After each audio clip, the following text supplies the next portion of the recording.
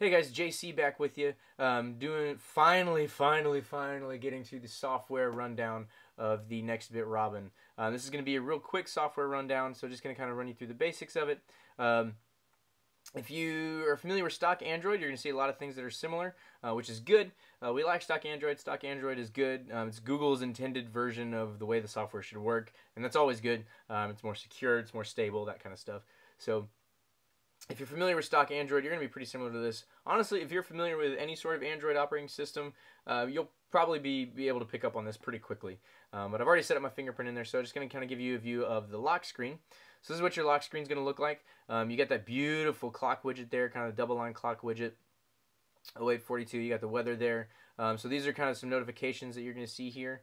Um, you know, this is the way did the notifications. Again, it's just very beautiful, very clean. Um, there's a lot of whites, a lot of greens, um, a lot of clear, kind of a lot of you know transparent um, stuff going on here, which is beautiful, which I really really love. Um, again, you can go straight into Google search down here, um, or you can uh, directly open up the camera. So um, you know you'll see this is how notifications appear both on the lock screen and you'll see in the in the notification drop down as well, or notification area. So let me go ahead and get on into the phone. Oh, don't need to see where I, I ordered my dinner from there. Anyway, uh, it's a really good Chinese place if you're anywhere near Houston. Uh, but anyway, so I have my some of my apps set up on here and everything. Um, just real quick rundown of the software. Again, pretty similar.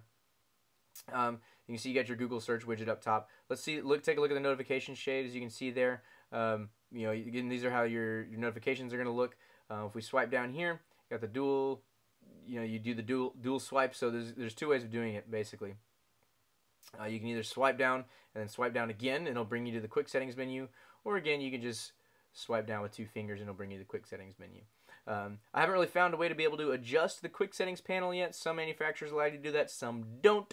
So we will see, uh, you know, if, if I can end up figuring out how to do it. Uh, if anybody knows, hit me up because I haven't figured it out yet. But anyway, there it is. Um, you got your basics, you know, do not disturb, Wi-Fi, Bluetooth, auto rotate. You got a flashlight there, which is nice. It's nice and bright. It's actually really bright, bright flashlight. Um, you can go straight to Google Cast and Hotspot as well there. Um, so again, just beautiful notifications. I love the way they've done is they've toned down the colors a little bit again.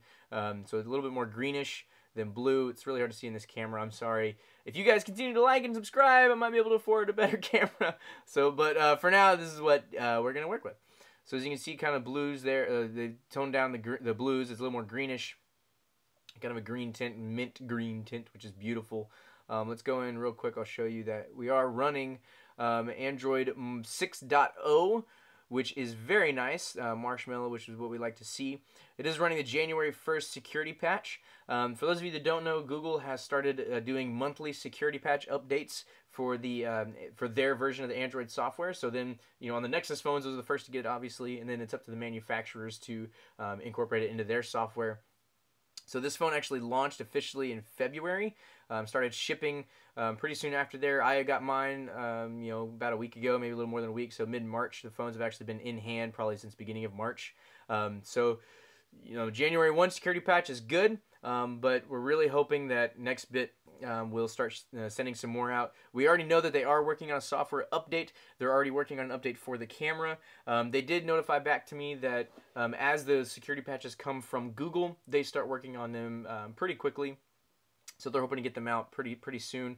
Um, unfortunately, only time will tell how good they are on those uh, software updates, on those security patches. Only time will tell.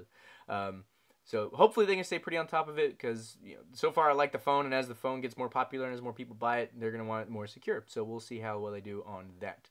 Um, again, other than that, basic, pretty much the settings are the same. You know, anything you're, you're used to here. The only other difference is going to be smart storage. Again, this is the, how the cloud storage.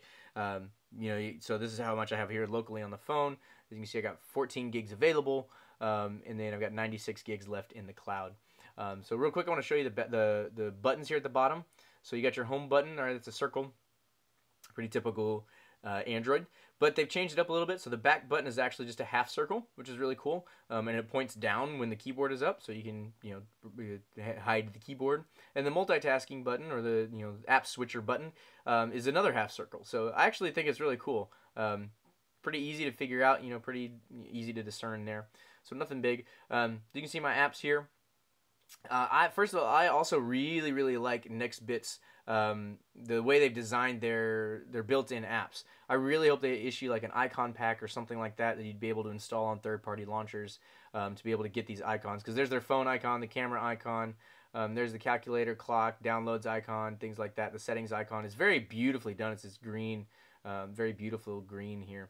Um, as you can see here, I don't know if you've been following this phone much, but one of the biggest things kind of broke the internet actually was there's no app drawer. Where's the app drawer? And a lot of people are freaking out. They're saying, next bit, I want an app drawer. I don't understand why there's no app drawer. I want all my apps to be in an app drawer. And my head's to explode if you don't give me an app drawer. Where'd it go Nextbit? Uh, honestly, I don't really care. Um, Phil Nickinson, from who's the editor in chief of Android Central, actually put it really well. He said, basically, his kind of point was, really, like you're you're flipping your lid over that. I mean, there's his basically his point was, if you don't like it, there's other launchers. The Google Now launcher is great. There's plenty of other launchers that will give you an app drawer if you really have to have an app drawer that badly. Guys, it's an app drawer. Get used to it. It's it's fine. Um, that is one similarity of they probably took from the iPhone is the, what they call I guess the Springboard UI, um, in that there's no app drawer. Um, but it hasn't really, honestly, it hasn't really bothered me at all. I don't really miss having an app drawer at all. Maybe that's because I've been using an iPhone for a little while and kind of used to it. I don't really know, but it hasn't bothered me. So as I swipe over, there's a little cloud animation that happens right here, which is just beautiful. Um, this is the, the stock wallpaper you'll get with the Robin. Um, I really love what they've done with the UI. I love the colors um, that they've they've chosen to go with. I love just the, the simplicity of it. Like I said, the transparency. Uh, it's just beautiful. It's just beautiful. I really, really liking this. Um, yes, I'm in Houston, Texas, so all those stalkers. Uh, there you go. Um, so yeah, there is no app drawer. Now again, kind of the big uh, selling point for this phone, the big idea behind the Robin is uh, cloud storage or the kind of limitless storage, so to speak. So real quick, how it works is uh, the smart storage that I was showing you earlier. If we go back into settings here, um, this smart storage. Basically, how it works is you get 32 gigs locally on the phone. There's no micro SD card slot, but you get 100 gigabytes of cloud storage. And how the cloud storage works is as you fill up your phone, as you fill up this 32 gigabytes, the phone will intelligently note um, it will intelligently like notice and identify your oldest pictures um, and apps that you haven't used in a while, and it will send those to the cloud. It will kind of remove those off the phone and send those to the cloud um, to store them there. Um, it will leave a little grayed out icon. So, for instance, say uh, the Weather Channel ended up going to the cloud, um, it would be grayed out there, which means that the, like it still knows that I have the app. And if I wanted to re-download the app, all I had to do is tap on it, and the, the app would come back down from the cloud.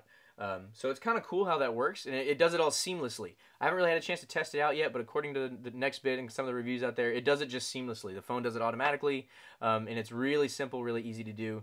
Um, and as you're doing it, there's four little lights that'll light up back here. So if you see those lighting up, that means it's sending to the cloud, which is really cool. So that's kind of the storage works.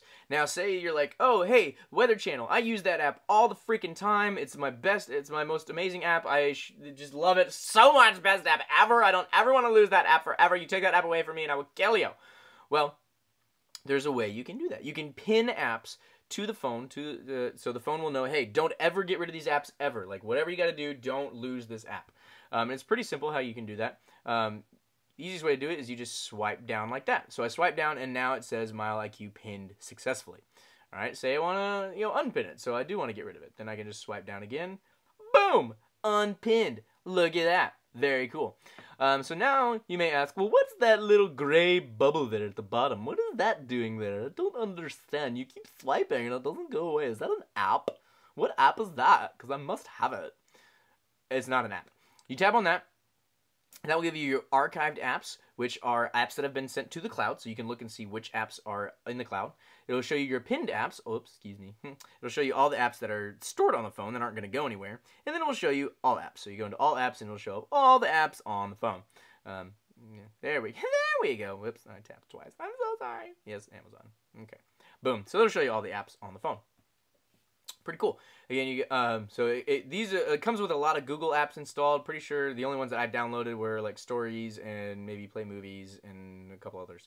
Um, but most of these apps you'll get with the phone. Um, it's actually pretty cool. So when the when you first get the phone, it's got all of Nextbit's um, uh, apps on there, which is just just a few. You know, contacts messaging. I think they've got um, go away. I think they've got the calculator, the clock, the downloads. Um, see if there's anything else. The gallery um, and settings, and then the phone and the camera. Those are pretty much it. And then you get a folder of Google apps because Google says you have to do that. And that's pretty much all the apps you get with the phone. There's no bloatware. Um, some of you might have seen the T-Mobile app right there, the visual voicemail. For those of you that don't know, that's the T-Mobile app. I downloaded that. I installed that because I'm a T-Mobile customer. So that's pretty much it. We were just doing basic rundown of the software, how you can pin apps, things like that. Um, it's pretty simple, pretty self-explanatory. Uh, if you're familiar at all with Android, um, you're going to be pretty familiar with this.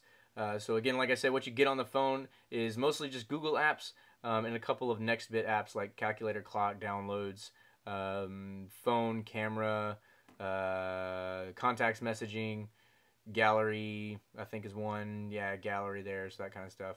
Um, yeah, I love Disney movies. Okay, sue me. Um, so anyway, that's pretty much it. Um, pretty basic cloud storage. If you guys have any questions, um, you know, hit me up in the comments. Please don't forget to like and subscribe. Um, that really, really helps. Seriously. Um, next video, we're going to do a comparison of this guy versus the iPhone 6s. What are the similarities? What are the differences?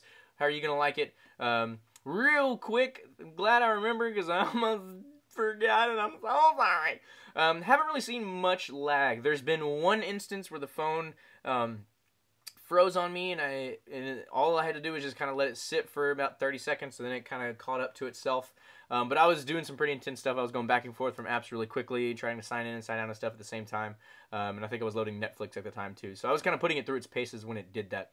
I've noticed very, very little lag. Um, there's been maybe once or twice where it's kind of hiccuped um, and had to kind of stop and like take an extra breath and then do it again. Um, but nothing unusual, definitely nothing stand out, nothing to make me not recommend the phone, nothing to make me say, oh my god, that sucked, Nextbit, get on that. Um, so, very, very fluid. Haven't really noticed anything at all. Um, you know, so again, hit me up in the comments, like, subscribe. Uh, if there's anything else you want to see, like I said, we're going to do an iPhone 6s comparison next, see how that works. Um, try to do some other Android phones. Like I said, it's going to be really tough because uh, I don't work for a review website, so any phones that I get, I'm going to have to pay for out of pocket, uh, which would be kind of difficult because I don't really have a whole lot of money. So, um, if anybody wants to send me a phone that they want me to review, I'd be more than happy to do that. Um, or if you've got a specific phone that you want to see, um, hit me up. I'll do my best to try to compare the two, but I can't promise. Um, so anyway, hit me up, like, comment, subscribe. Please, I love you guys. Spread the word. Tell your friends. If you like my reviews, if you like the way I do my reviews, you know, very unbiased kind of, um, you know, just regular dude, reviews from a regular dude. If you think I'm funny, if you think I'm crazy, you know, if you like what you see, please, please, please tell your friends. It's the only way we're going to spread the word um, about this kind of stuff. So, again, that's the software on the Nextbit, Robin. Very quick rundown. Stay tuned for a comparison with the Galaxy S6. Like, comment, subscribe. I love you guys. This is JC. Peace out.